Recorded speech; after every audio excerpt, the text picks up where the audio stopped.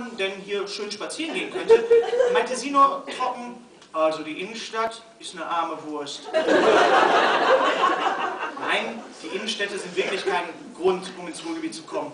Um die wahre Schönheit zu finden, muss man sie hinter sich lassen oder am besten komplett ignorieren.